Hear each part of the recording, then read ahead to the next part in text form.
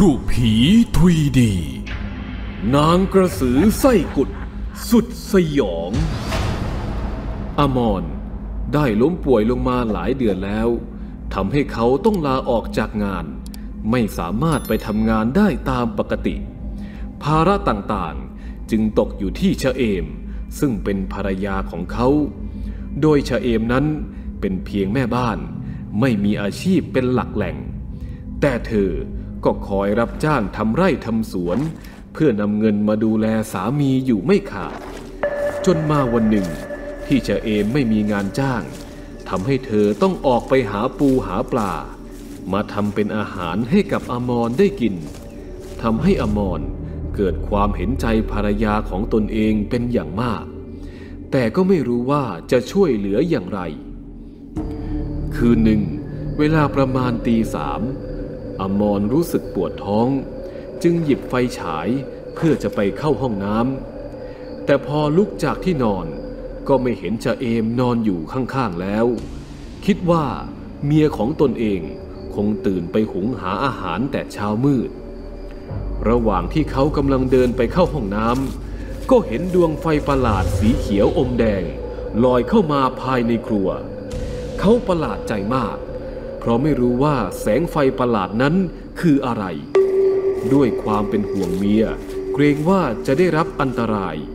จึงเดินไปดูที่ห้องครัว ก็ถึงกับพังะเพราะเขาเห็นเมียของตนเอง กลายเป็นผีกระสือไปแล้ว ที่มีเพียงแค่หัวกับไส้ ลอยอยู่ในห้องครัวเท่านั้น โดยที่ปากของเธอกำลังคาบไก่ที่ยังไม่ตายเข้ามาด้วย ส่วนร่างของเธอ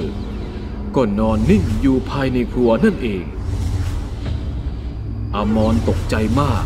ถึงกับร้องอุทานออกมา ไม่จริง ไม่จริงใช่ไหมชะเอม เองไม่ได้เป็นผีกระสือใช่ไหมกระสือชะเอมได้ยินดังนั้นก็หันไปมอง แล้วเห็นอมรยืนนิ่ง ตาค้างก็ถึงกับตกใจและเสียใจในเวลาเดียวกัน และได้ปล่อยไก่ตัวนั้นลงที่พื้น จนมันวิ่งหนีไป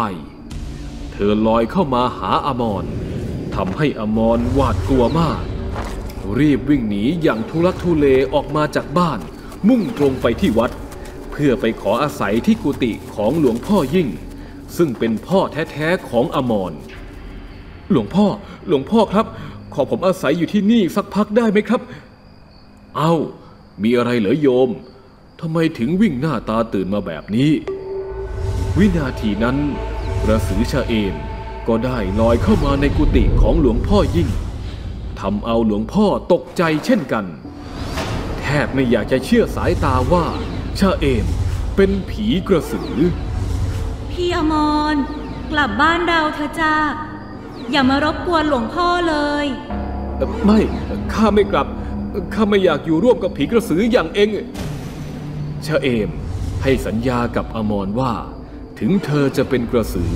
แต่เธอก็ไม่สามารถทำร้ายคนที่เธอรักได้ลง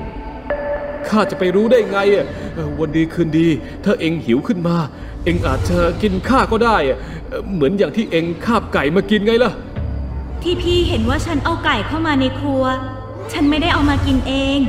แต่ฉันจะเอามาทำเป็นกับข้าวให้พี่กินตังหาก ฉันเป็นห่วงพี่ กลัวว่าพี่จะไม่มีอะไรกิน แม้ว่าชะเอมจะพูดจาอย่างไร แต่อมรก็ไม่ยอมกลับ เขากลัวจนตัวสั่น ขณะที่หลวงพ่อยิ่งก็บอกให้ทั้งสองฝ่ายปรับความเข้าใจกัน แต่แล้วอมรก็ไม่ยอมรับเมียกระสือ ได้แต่ไล่เธอให้ออกไปจากชีวิตของเขาทำให้ชาเอมเสียใจมาก เธอจึงลอยออกไปจากกุฏิเพื่อกลับบ้าน ระหว่างทางโอ๊ตกับบิ๊ก ซึ่งเป็นวัยรุ่นภายในหมู่บ้าน ได้ซุ่มอยู่ที่พุ่มไม้ข้างทาง มันเห็นว่ามีกระสือลอยผ่านมาพอดี ได้ใช้หนามไม้ไผ่ทำเป็นกับดัก ดักผีกระสือเอาไว้ทำให้นางกระสือติดกับดักที่ทั้งคู่ทำไว้ แต่ต้องดึงตัวเองสุดแรง เพื่อให้ออกจากหนามของต้นไผ่ จนไส้กับเครื่องในหลุดหายไปทั้งหมด นางกระสือเจ็บปวดหนักมาก ทำให้เธอรีบกลับไปที่บ้าน เพราะเกรงว่าจะมีคนตามมาเล่นงานชาเอมรีบเข้าร่างของตนเองในทันที แต่ก็ไม่ได้ทำให้ร่างกายนั้นกลับมาเป็นปกติเลย เพราะตอนนี้เธอไม่มีเครื่องในอยู่อีกแล้ว เธอปวดท้องอย่างหนัก นอนผู้รนผู้รายอย่างเจ็บปวด ส่วนสองวัยรุ่นโอ๊ตกับบิ๊กก็ได้เอาไส้ของกระสือใส่ถุงดำ และนำไปให้กับนายชิด ซึ่งเป็นเจ้าของไก่ชนราคาแพง เพราะก่อนหน้านี้ ไก่ชนของนายชิด ได้ถูกนางกระสือชะเอม ขโมยเอาไปกินจนหมด นายชิดจึงประกาศไว้ว่า หากใครสามารถจัดการนางกระสือได้ เขาจะมอบเงินรางวัลให้อย่างงาม แล้วจะนำไส้มาให้หมอผีทำพิธีกรรม เพื่อเรียกตัวของกระสือให้ออกมา จะได้รู้ว่ากระสือตัวจริงนั้นมันเป็นใครกันแน่ เพื่อจะไล่มันออกไปจากหมู่บ้าน นี่ไงพี่ชิดไส้ของนางกระสือ ฉันกับไอ้เบกทำสำเร็จแล้ว พี่ต้องให้เงินรางวัลกับฉันนะข้าไม่ลืมหรอก แต่ขอให้เป็นไส้กระสือจริง ๆ เถอะ ไม่ใช่เป็นอย่างอื่น เดี๋ยวข้าจะให้หมอผีมาทำพิธีกรรมก่อน เพื่อเรียกให้ตัวของนางกระสือมา